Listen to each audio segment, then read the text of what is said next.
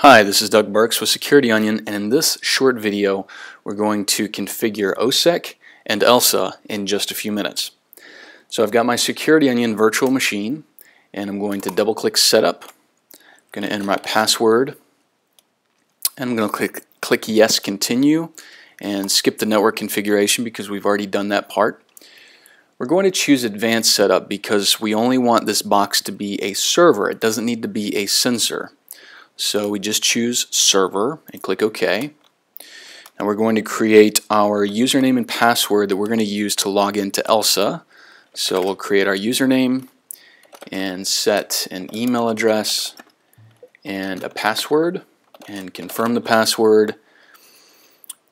We're now prompted for which IDS engine would you like to use. Now because this is just an OSSEC only installation, this doesn't necessarily apply here, but if you end up adding a network sensor later, then it will inherit the settings from this master server. So we'll choose Snort and we'll click OK. And again, this is for IDS rule set, which doesn't apply in this particular demo, but uh, this setting would get inherited by uh, any network sensors that you later add to your deployment. So we choose that and click OK. We don't need salt for this demo, so we'll disable salt, but we do need ELSA, so we'll enable that. And we'll say yes, proceed with the changes. So now the setup wizard is configuring OSSEC, and it's configuring all of our other services.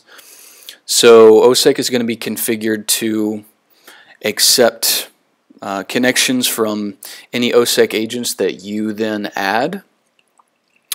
And uh, in addition to the standard OSSEC alerts, so as OSSEC is collecting those logs from those OSSEC agents, it's alerting on those and we'll be able to see those OSSEC alerts inside of ELSA.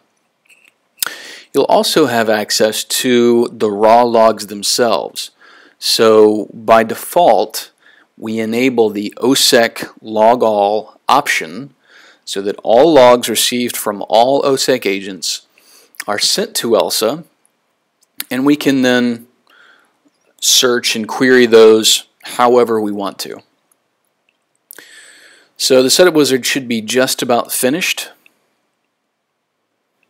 It's doing the final configuration for ELSA.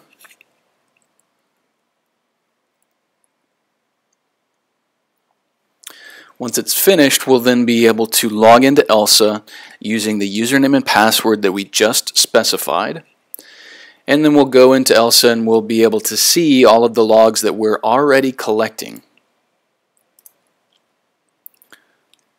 So we double click ELSA and we proceed.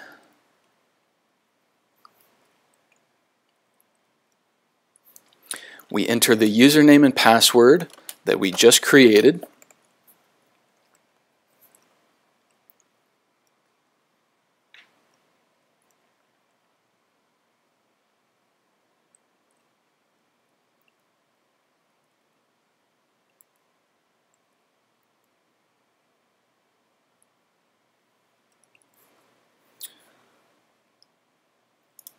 Alright, so as you can see, we have our ELSA web interface.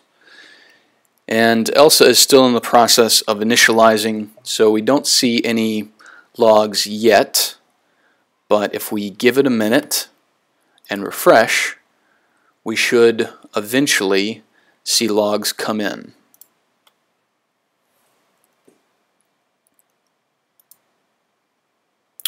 And now you see we have 387 logs indexed and 775 archived. So now what we can do in ELSA is we can say show me all of your logs and group by program. So we're going to submit that query.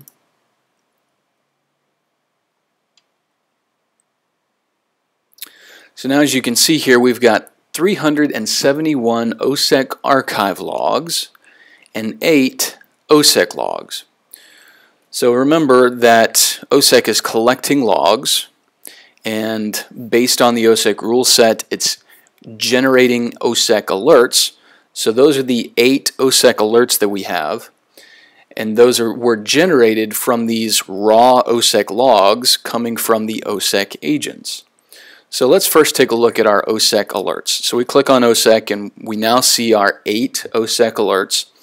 So we see things like login session open and a bunch of integrity checksum changed alerts. So if we had a lot more and, and we didn't want to necessarily page through all of our hundreds or thousands of alerts, uh, we could of course add some search keywords to our query and we could say, hey, just show me login. So that just returns the logs that contain the word login and also does automatic highlighting. So that's pretty cool.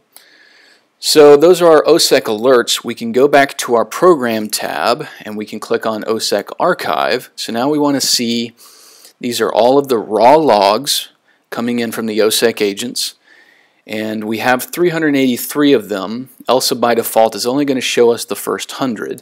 We could actually increase that by changing our limit to 400. And notice this has changed and we've received some more in the meantime, so let's change this to 500. So now we're showing all 407 of our OSSEC archives.